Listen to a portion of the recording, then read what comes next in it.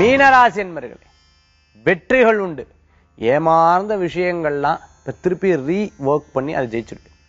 ஆஹா இதுக்கு தான் இவ்வளோ போட்டி போட்டோமா? இதுக்கு தான் இவ்வளோ வருத்தப்பட்டோமா? ஒன்றும் கிடையாது. இதுதான் இவ்வளோ கஷ்டப்பட்டோமா? அப்படின்னு யோசிச்சு யோசிச்சு யோசிச்சு யோசிச்சு யோசிச்சு அடுத்து அடுத்து அடுத்து அடுத்து அடுத்து செயல்பாடுகள் நோக்கி செல்வேன்.